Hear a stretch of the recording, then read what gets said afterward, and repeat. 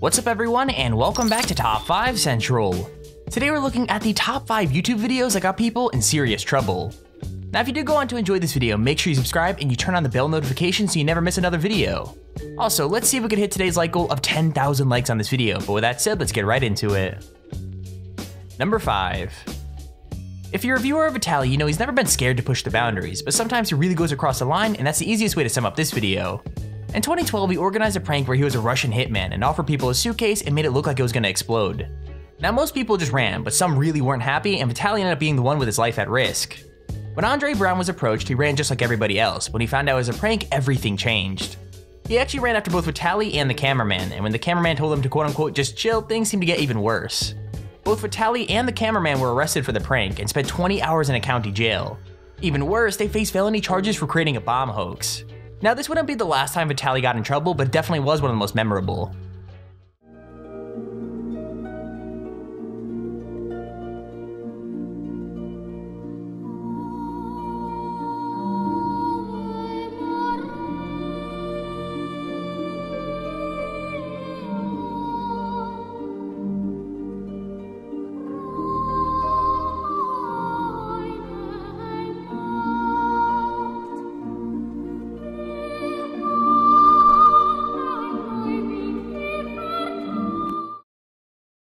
After being arrested for a bomb hoax. Police say pretending to have a bag with an explosive in it. Number 4. So DaddyOFive has always been a controversial channel, but this was a prank that really pushed things over the edge and put the spotlight on his family. To start things off, ink was poured all over the carpet and the little kids got the blame, even though they had nothing to do with the prank. Even though it's invisible ink, the dad goes crazy and manages to make almost everyone in the video cry. I mean, the kids literally seem terrified for their lives and can't tell whether what's going on is a prank or not. In my opinion though, it's pretty hard to watch, and most people on YouTube thought so too, making hundreds of videos in protest and calling on YouTube to terminate their channel. Now, it wasn't until Philip DeFranco posted a video about the channel that their hate reached a whole new level, which resulted in them pulling all their videos down. However, most people think that's not enough and that the videos are basically child abuse. What do you guys think though? Is this innocent entertainment or seriously messed up? Let me know in the comments below. I bought this here, invisible ink. Get your fucking ass up here! What the fuck? Did What did you do? What? What the fuck? I didn't do that! What the hell is that? What the hell is that? What is this? Cody! Tell me! I didn't do that! You tell me what you did! I swear to God! Number 3.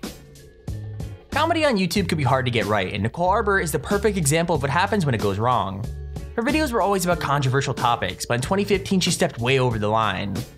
Her Dear Fat People video created so much drama on YouTube and Facebook and made her one of the most hated figures on the internet. Like she was seriously telling her audience to shame people who are overweight, which basically made even her fans look at her differently. I mean, this situation shows that YouTube is a really great place to let everyone share their opinion, but telling people your unpopular opinion might make you lose your career, so you gotta be super careful about it. Dear fat people. Ah, some people are already really mad at this video. What are you gonna do, fat people? What are you gonna do? Wait, what are you gonna chase me? Really? You're gonna chase me? It's gonna be like fucking Frankenstein.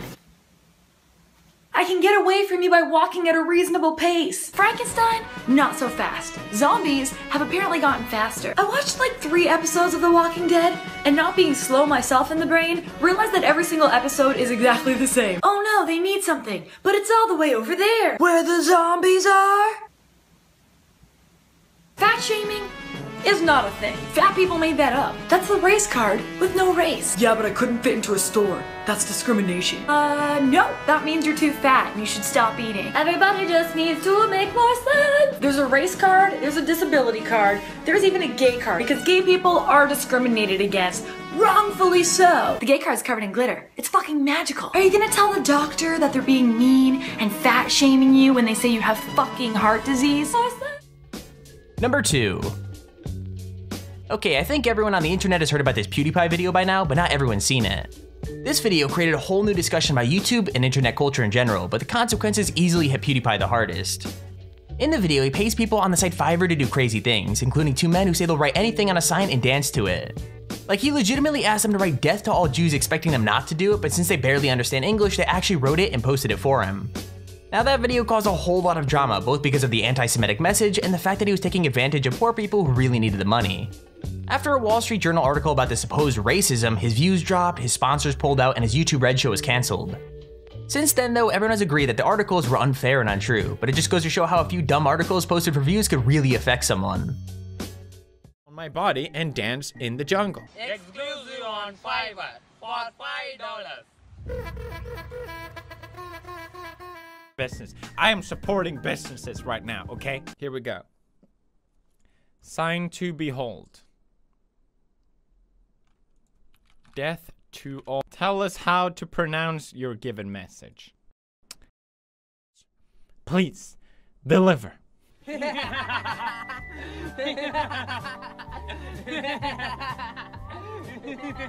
the fuck is this? I paid for this. What? What's with the Christmas? I like the editing. Keemstar.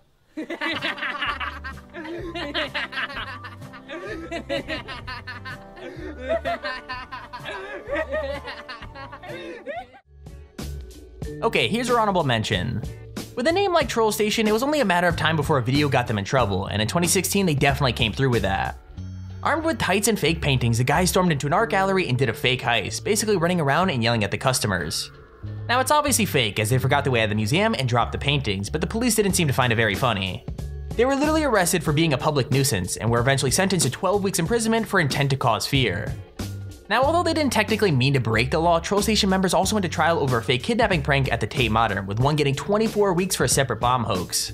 However, they said it wasn't gonna stop them making videos, which I find both cool and crazy at the same time. You man, get the paintings! Hey, you guys, get the paintings! Get the paintings! Get the paintings! Have you got the paintings? Have you got? I've got the. Hey, hey, come, let's go! Get the paintings! Everyone's going. Hey, what? Where's the painting though? Have you got the paintings? Have you got? I've got the paintings. I've got the paintings. I've got the paintings.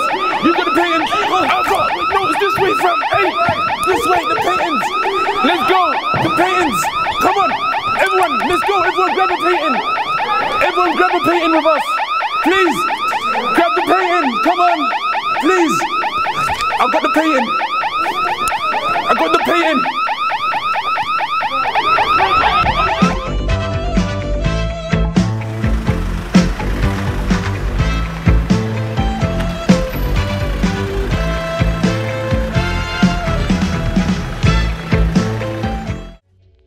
Number 1.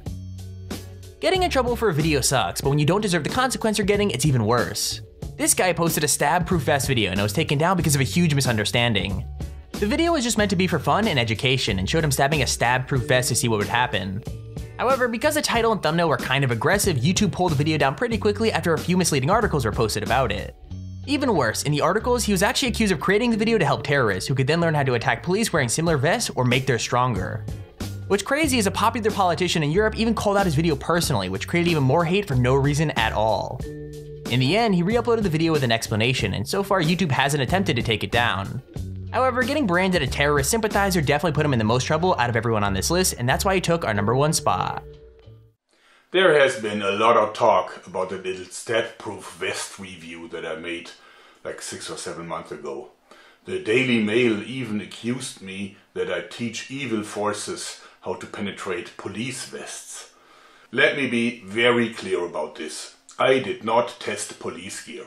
Police gear usually is really well tested and also very tough. It costs many times more than the cheap vest that I reviewed. I ever made. Too bad that it now only serves one purpose, and that's not a pretty one. okay, here we go. wow! Look at that. I pierced the safety vest.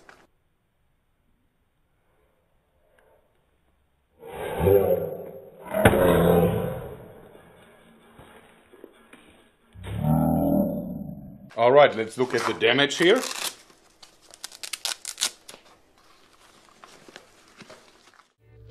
And there's our video on the top 5 YouTube videos that got people in serious trouble.